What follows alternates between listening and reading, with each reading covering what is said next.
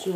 Среди населения, особенно среди пенсионеров, так, так как здесь половина населения пенсионеров, прошел такой слух, что вот в связи с объединением, потому что люди не понимают, что за объединение, что, с кем, с чем объединяется, что якобы э, э, ожидается большое сокращение штатов среди вот работников здравоохранения и насколько они это обоснованы. Ну, однозначно могу вам сказать, что ну, я буду очень, наверное, глупым руководителем. Ну, по крайней мере, вот что в сколько работает, сколько это самое, все остается я буду, наверное, очень глупым руководителем, если я потеряю хоть одного медицинского работника, с учетом сегодняшнего дефицита. Откуда-то цифра взялась, там 66 вот э, должны сократить, и даже среди медицинских ну, работников я это слышала. идет разговор, это никак не о Даже среди медицинских работников я это слышала. Ирина Георгиевна, может вы дадите ну, пояснение? Смотря Дрянь скажет, да. Не, ну я так да понимаю, по сути что дела, вот я и хотела... Это, это касается чисто теперь... Нет, вот Владимир Васильевич, я вот как раз хотела этот вопрос, потому что если буду комментировать как бы я, это моя позиция. А вот по штатам у нас, э, в общем-то, эта работа была проведена совместно с Ириной Георгиевной, и мы совсем недавно встречались ровно наверное, недели полторы тому назад, э, в четверг, по-моему, или в пятницу мы встречались с медицинскими работниками. И я думаю, что Ирина Георгиевна, вот именно конкрет, конкретно этот вопрос, она вам лучше а, пояснит. Да. Ну, что я хочу сказать, что, в общем-то, как сказать, само объединение меня в какой-то степени никакой мере как бы не страшит. В каком плане? Вообще, если так к истории вернуться, мы всегда были структурным подразделением Козельской центральной районной больницы. И для кого, для населения это никак не отражалось. Вы сами прекрасно, кто здесь живет здесь долго, на Сосинском, все это знаете. Вы думали ли вы, что вы, мы относимся к Козельской ЦРВ? Вы, может, этого и знать не знали, но тем не менее, так это было. В свое время, когда я в 87 году приступала, мы были как бы городской, поселковой тогда больницей в структуре центральной районной больницы. Единственное, что у нас был выделен самостоятельный бюджет, нам как бы согласовывало и отдавали на постсовет. А так все эти вещи мы все равно в тесном контакте с Козельской ЦРБ работаем. Организационно-методическую как бы всю помощь и как бы контроль за нами все равно осуществлялся в основном через центральную районную больницу. Сейчас стал вопрос просто о ликвидации юридического лица. Мы самостоятельным юрлицом, это наши, вот, наши 131 закон, наше муниципальное разделение полномочий были, поэтому мы были выделены вроде как совершенно самостоятельная структурная единица. Поэтому то, что мы объединяемся, в этом, конечно, для населения никакого ужаса нет в данной ситуации. Э, пока на начальных этапах я не исключаю, что могут возникать какие-то у нас, скажем так, и проблемы, и трения, возможно.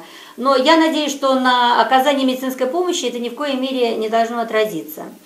Вот, э, э, да, сокращения будут, однозначно будут, но сокращения будут в основном не медицинские работники, а это наша, скажем, экономическая служба, бухгалтерия, потому что новый руководитель, новый объединенный, скажем так, принявший в себя в структуру Созинскую больницу, скажем так, он, естественно, рассчитывает этих работников, посчитает он нужным, скажем так, сократить этих работников. К сожалению, так время построено, что сейчас, э, скажем, интенсификация труда и все остальное прочее, и что, естественно, это требует тоже своих корректив каких-то.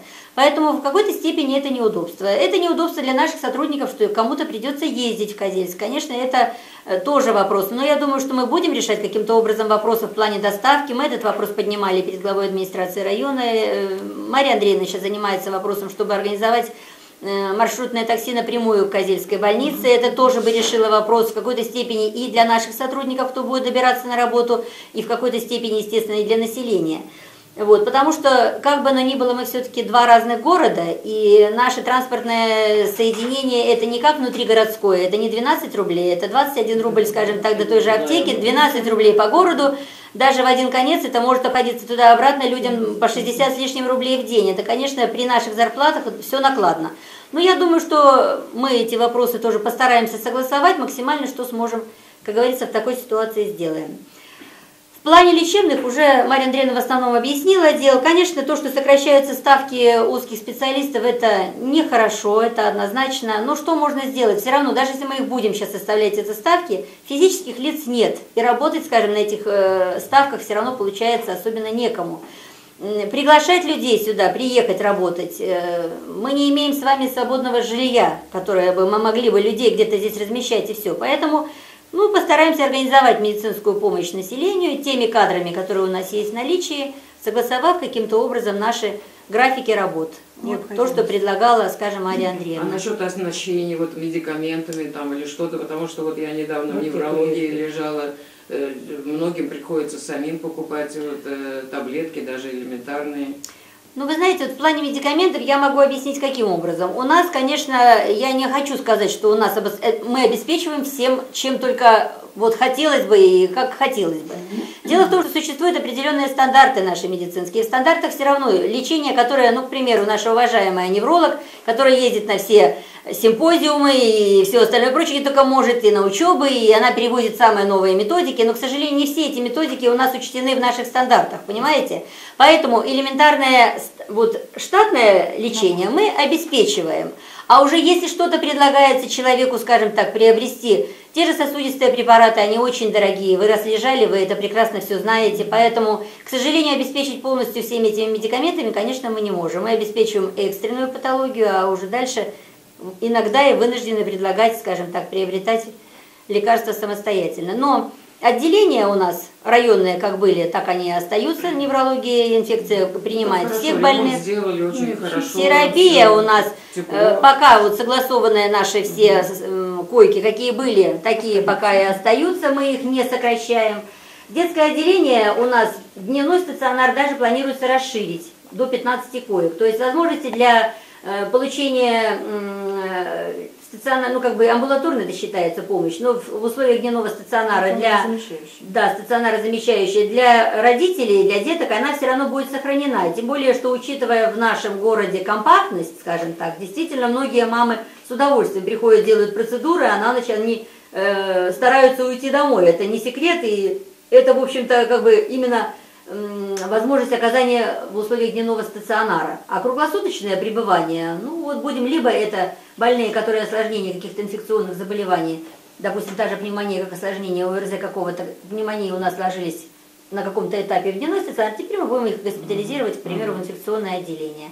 Условия там у нас неплохие, в боксы, никаких, бояться слова инфекционное отделение совершенно не надо, потому что потоки там совершенно понятно. инфекционных больных разделены, там санэпидрежим соблюдается еще в большей мере, чем в каких-либо других отделениях, поэтому э, иногда пугаются самого слова, вот, меня кладут в инфекционное отделение. Ничего в этом ужасного, конечно, А еще нет. вот техническая сторона этого вопроса. Вот во многих регионах, предположим, идешь к врачу, там, к терапевту, вот нужно сделать гастрофиброскопию. Э, Здесь у нас в Сосинском нет, в Козельске.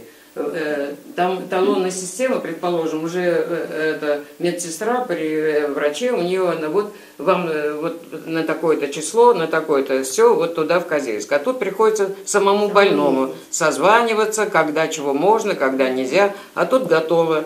И хоть это Ну, как бы связь. ну, я не знаю как, но, по крайней как-то, мере, вот во многих регионах Можно так. я сначала, если можно, Да.